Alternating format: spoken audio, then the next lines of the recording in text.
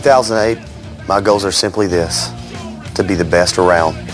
Not only to have the tag team championships, but the X Division and the heavyweight title.